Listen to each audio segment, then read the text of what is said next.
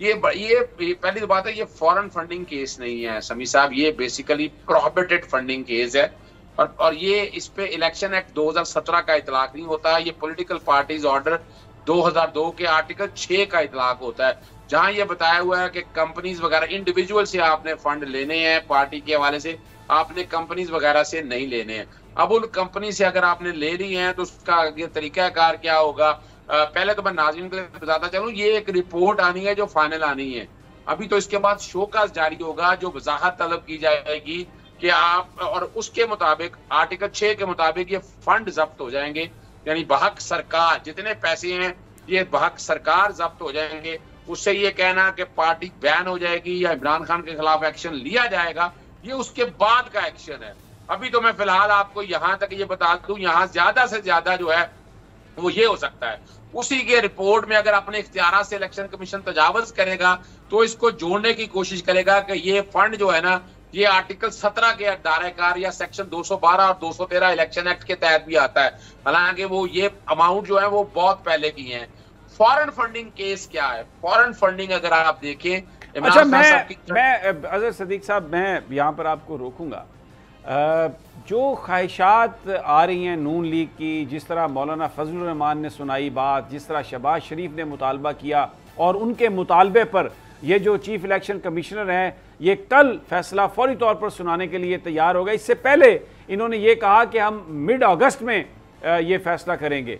लेकिन, और ये खबर चलवाई इलेक्शन कमीशन ने जराए के ज़रिए, वो सारे रिपोर्टर्स जो कवर करते हैं, उनको ये कहा। लेकिन हकूमत ने ये एक शोर बर्पा कर दिया। फाइनेंशियल टाइम्स की स्टोरी भी छपवा दी और कहा कि जी, फौरी तौर पर फैसला करें, क्योंकि ये तो इमरान खान को सियासत से निकालना चाहते हैं। ये हकूमत जो है, ये सस्टेन नहीं कर सकती, ये आगे चल नहीं सकती। तो उससे पहले इन्होंने एक प्लानिंग के ज़रिए सुप्रीम कोर्ट के जजेस के खिलाफ कैंपेन की, उनको मुतनाज़ा बनाने की कोशिश की, ताकि फॉरेन फंडिंग केस का फैसला आएगा इमरान के खिलाफ और अगर वो कोर्ट में जाए तो हम कोर्ट को पहले मुतनाज़ा बना दें।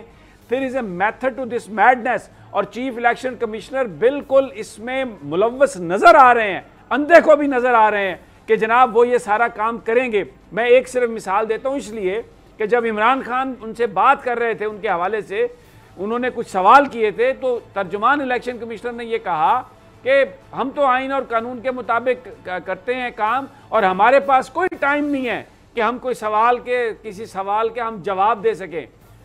ये इमरान खान की जो गुफ्तु थी उसके रिस्पॉन्स में मुबैना तौर पर यह कहा इलेक्शन कमिश्नर के तर्जुमान ने। तो ये रवैया इनका है तो ये तो आखिरी हद तक जाएँगे। तो आप तो कानून की बात कर रहे हैं ना कि ये हो सकता है ये लेकिन अच्छा। ये तो अच्छा। तलवारें सौंध कर बैठे हैं। इमरान के भूत से डर रहे हैं। रात को नींद नहीं आती तो इलेक्शन से और सिस्टम से बाहर निकालने के लिए this is what they are doing अच्छा ये समी साहब बात तो सच है लेकिन याद रखिएगा इनमें रुसवाई की ये बात सच भी है और रुसवाई की भी है। जी बिल्कुल ऐसा ही है बिल्कुल ऐसा ही है। देखिए अपना आप, आप ये आवाम को बेवकूफ़ बनाते रहे फॉरेन फॉरेन फंडिंग है क्या? और आर्टिकल सत्रह अगर पढ़ लें जो पाकिस्तान में पाकिस्तान की सालमियत के खिलाफ अगर कोई पार्टी काम करती है यानी फ़र्ज़ करें किसी पार्टी को बैन करना है या पाबंदी लगानी है या उस पार्टी को तहलील करना है तो पहले साबित करना पड़ेगा कि पाकिस्तान की सालमियत के खिलाफ काम करती रही है और पैसा लाकर जैसे मिसाल के तौर पर इमरान खान की गवर्नमेंट सदीक साहब आप, आप मैं फिर मैं रोकता हूँ माफ़ी चाहता हूँ आप फिर कानून की बात कर रहे हैं कि साबित करना पड़ेगा। ये जो कुछ हो रहा है ये साबित करके हो रहा है। इस मुल्क में पिछले चार महीने में जो कुछ हुआ है वो आइन और कानून के मुताबिक मुझे बताइए किस चीज़ की साबित करने की जब ताकत हाथ में है हुकूमत हाथ में है चीफ इलेक्शन कमिश्नर जो है, बज़ाहिर पूरा पाकिस्तान कन्विंस है कि बायस्ड है तो फिर ये कानून और आइन की बात कहाँ पर होगी? मैं तो मैं वही समीसा बात को ला रहा था कि अगर वाकई इसको फॉरेन फंडिंग साबित करना है तो कानून के मुताबिक लेकर जाएँ, लेकिन यहाँ ये नहीं हो रहा। कानून एक तरफ़ फेंक दिया।